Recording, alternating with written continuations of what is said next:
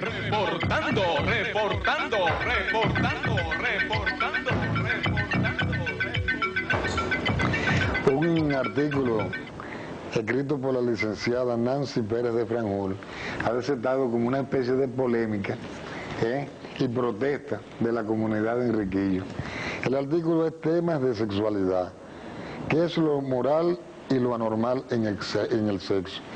Aquí la licenciada Franjul, de Franjul se refiere al bestialismo. Me gustaría que tú me explicaras primero qué es el bestialismo. El bestialismo es cuando una persona utiliza a un animal como forma de gratificación sexual. O sea, que tiene sus relaciones sexuales con un animal. Esto es bestialismo siempre y cuando eso sea algo temporal y no sea una la única y exclusiva forma de obtener eh, placer sexual, ya que cuando eh, se convierte en la única fuente de placer que sea a través de un animal, entonces se convierte en zoología, que es una patología del comportamiento. O sea, si una persona tiene relaciones con un animal y tiene relaciones con, con una mujer, ¿no es una patología? No, ¿O depende de la edad del individuo? porque generalmente el, el bestialismo es cuando los jóvenes se inician, Ah, que bien, utilizan bien. los Es animales. como el brechero, Ajá. que vive brechando y después... Después deja eso, Deja porque eso, eso. es, un, eso es una- un comportamiento típico en una etapa de, de- de la adolescencia, o sea, de- del individuo. Pero si un individuo mantiene ese, ese comportamiento, porque el adolescente se masturba muchísimo, eh, brechea, eh, digo, no son todos, pero Exacto. es un comportamiento generalizado dentro de los adolescentes. Eh, muchos utilizan el, be- el bestialismo porque es la fuente más fácil, especialmente en las zonas rurales. Y se han hecho estudios por Master y Johnson, por Kissing, Hunts y otras eh, expertos en, en- el área de la sexualidad, donde eh, aunque cada vez es menos que se utiliza esa forma, pero sí en las áreas rurales eh, utilizan los animales como forma de iniciarse sexualmente. En vez de ir a donde una prostituta o tener una pareja, lo, lo usan con un animal. Parece que lo que irritó a la gente de Enriquillo que tú citaras es la comunidad de Enriquillo en la región sur, donde dice que una gran cantidad de jóvenes no usa la masturbación como parte de su crecimiento sexual debido a que cada uno tiene una burra en el patio para realizar un acto sexual.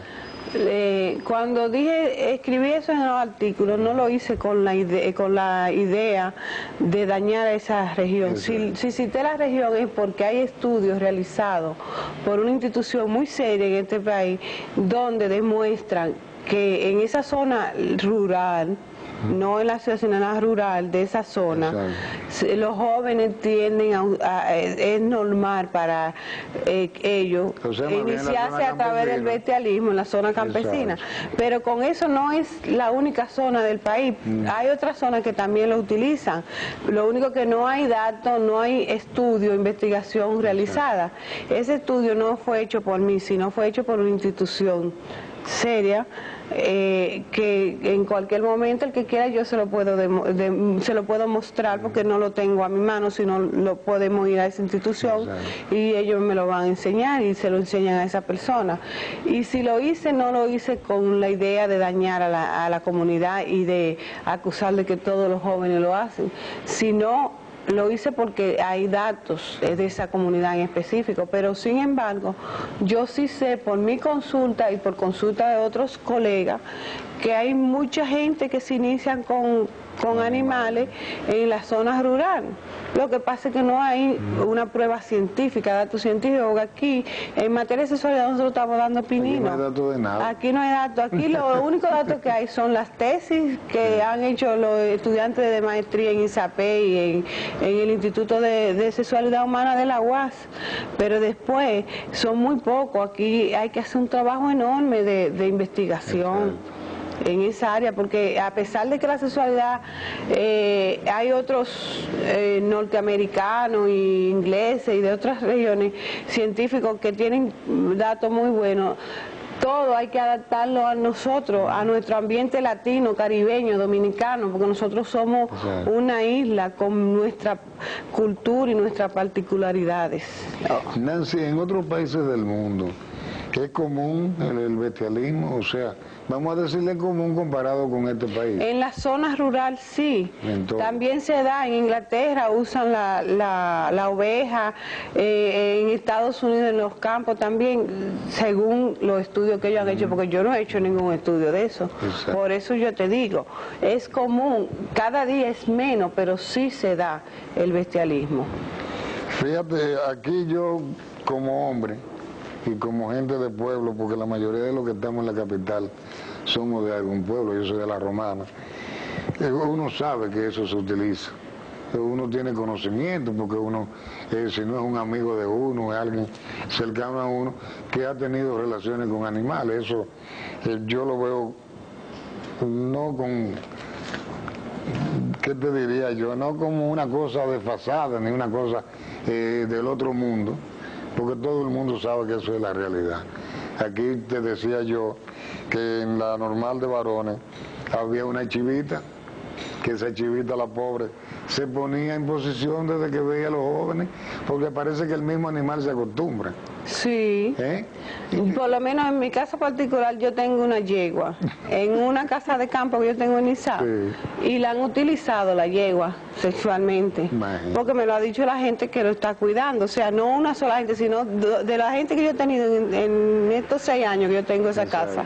Me han dicho, mire, estaban usando la yegua y eso. Entonces decir que se usa. Lo que pasa es que eh, yo dije la ciudad de Enriquillo porque hay un trabajo sobre eso, pero no es con, con ánimo de, de, de ganarme enemigos en esa ciudad, que yo no tengo nada contra ellos ni nada. Tú me decías que no es una patología siempre y cuando Siempre y cuando eso se use como un medio de iniciación en una etapa temprana de la adolescencia y que después lleve su vida normal con una mujer, porque hay casos, eh, de, de- se ha visto casos de gente que después que se acostumbra a eso, no es muy común, pero ha, ha habido, nada más tienen placer con animales, entonces ya eso es zoofilia. Entonces ya, porque ya hay una patología, una enfermedad, entonces ya eso conlleva un tratamiento, una serie de, de, de medidas que no es lo mismo que una gente que diga, ah, yo cuando estaba joven, y me- eh, ¿cuál fue su primera relación? Con una chivita o con un burrito. una puerca. Con una puerca. Lo Ah, raro, lo raro es que se utilicen burra. Óyeme, porque yo, yo no me imagino una burra. Bueno, pero eh, y yo tengo la yegua y se utilizó en yegua que también es más fuerte todavía. tú dices una chivita o una puerquita, uno más o menos, pero una burra, digo, está Tiene fuerte. que encaramarse alto, Digo, no, no solamente caramarse alto, sino que quien ha visto un burro. Pero vamos a seguir con este tema después de estos comerciales.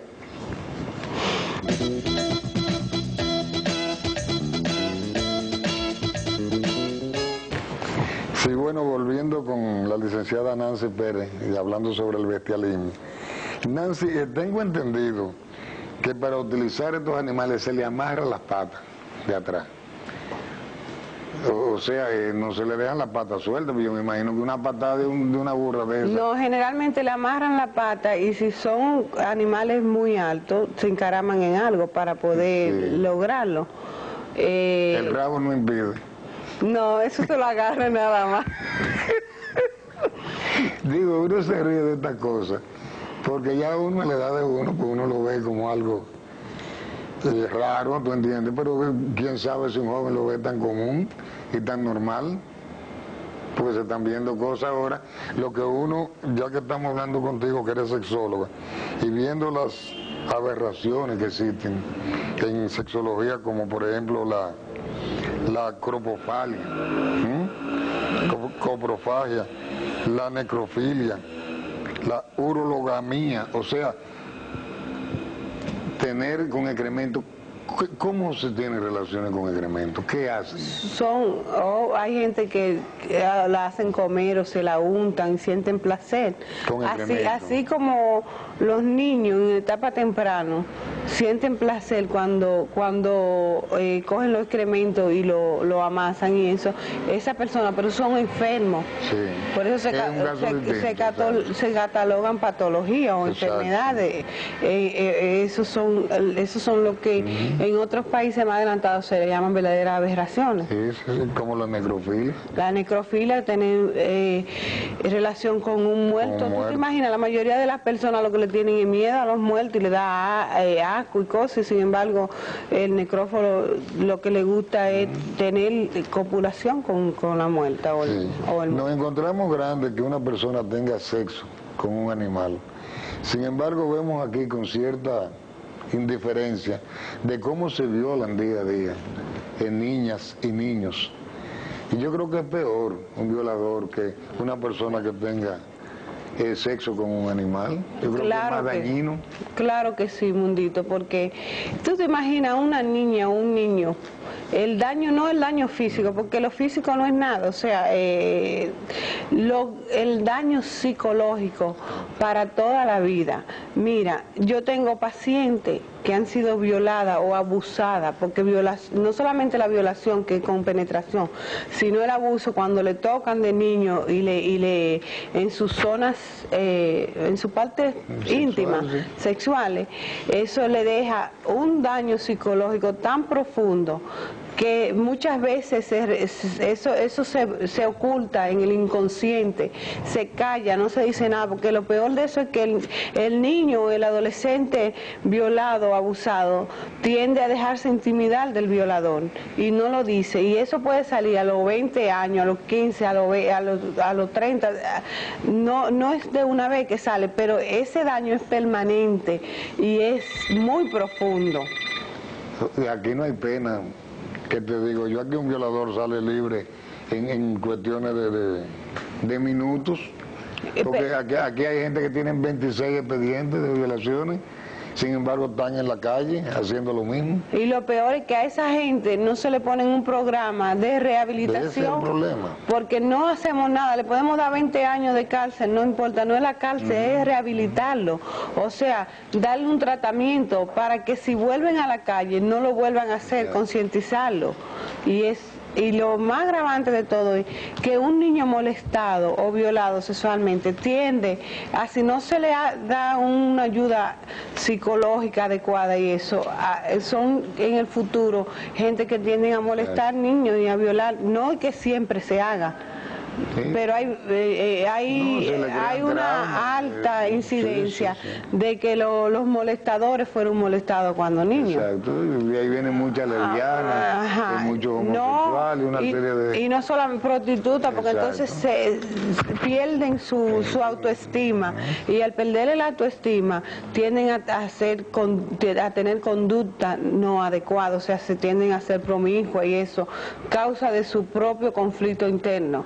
Aquí hay que ponerle carácter a eso. Las escuelas tienen que tener, se, tienen que educar a, las personas en todas las escuelas rurales y de, y de la zona urbana, eh, personas adecuadas que puedan detectar por el comportamiento de un niño que tenga malas notas, que lo otro, ver qué es lo que está pasando, investigar, porque a través de la escuela es la mejor forma que se pueden dar cuenta de que ese niño está siendo violado o abusado sexualmente dentro de su casa, porque cuando es el padre que lo hace o cuando es un amigo íntimo, es muy difícil, se dejan intimidar, entonces no, no, no tienen a buscar ayuda en la familia porque no tienen confianza, pero si hay alguien eh, calificado dentro de la escuela que lo haga, entonces puede eh, to- tomar parte en el asunto y dar eh, a tiempo de que ese niño ha sido violado o que está siendo molestado o que está siendo violado y buscarle remedio. Aquí también hay que, hay que tener instituciones que esos jóvenes puedan rehabilitarse y hay muchos profesionales en ese campo que no están haciendo nada, que no lo están empleando. Sin embargo, lo necesitamos porque cada día la incidencia en violación es mayor en nuestro país. ¿Cómo no, Nancy? Te vamos a dar las gracias por este momentito que ha pasado con nosotros.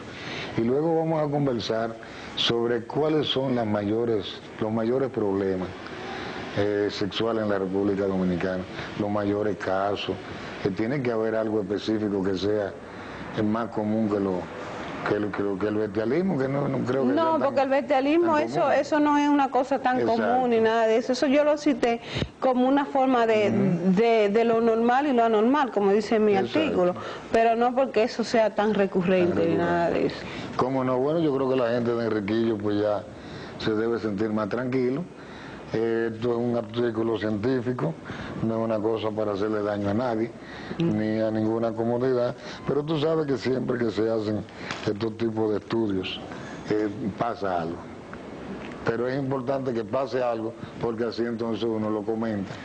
Y si no hubiera sido por el escándalo, a lo mejor tú no estuvieras hablando ahora. Pues, gracias, Mundito, por invitarme a tu programa y estoy a las órdenes cuando quieras.